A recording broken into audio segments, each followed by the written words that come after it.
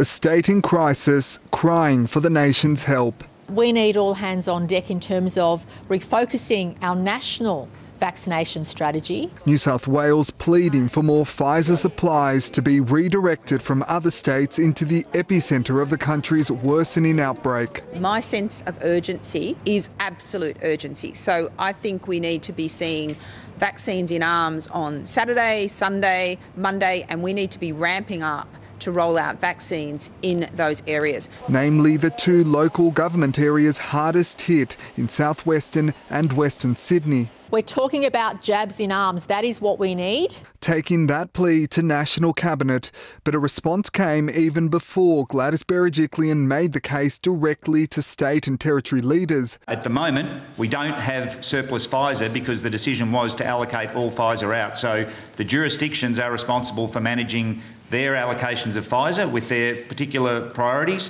Victoria's Premier unimpressed by the request. It's not my job to get the pubs open in New South Wales, Rich. So I'm not going to have Victorian vaccine go to New South Wales so that they can be open while we're closed. When the same proposition was put to the New South Wales Premier last month, she had a similar response. Oh, I heard that Victoria wants some of our Pfizer then- vaccines. They're No, not getting it. No, I can't. Queensland more diplomatic. Look, the number of Pfizer vaccines that we have in Queensland is so meagre, I don't, I don't think we could uh, redirect those. This afternoon, the Prime Minister emerging after a lengthy National Cabinet meeting with a message of support for his home state. New South Wales, I know, will push through. But the hopes for more Pfizer doses not eventuating. We are not going to disrupt the vaccination program around the rest of the country.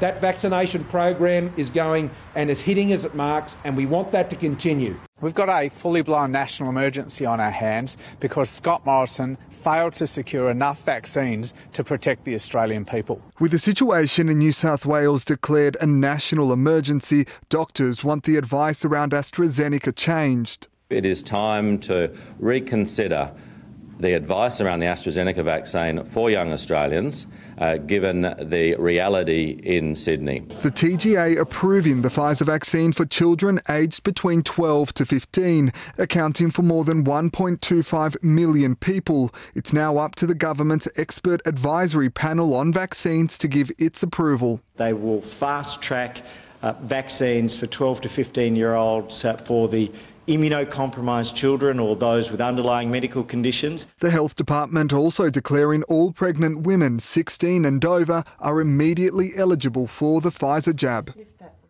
And Pablo Vinales joins us now with more from Parliament House in Canberra. Uh, Pablo, good evening to you. National Cabinet today, of course. Uh, early indications was that it was always going to be a heated meeting. Yeah, Anton, good evening to you. National Cabinet obviously refusing to give New South Wales those extra doses they're desperately after, though that was pretty clear from the responses we saw earlier today. Instead, what will happen is the state will start administering more first doses of Pfizer, pushing back the second doses to six weeks. That is still within the medical advice and it frees up some supply, at least for now. As for the AstraZeneca vaccine, supply isn't an issue. The Prime Minister pointing that out this afternoon.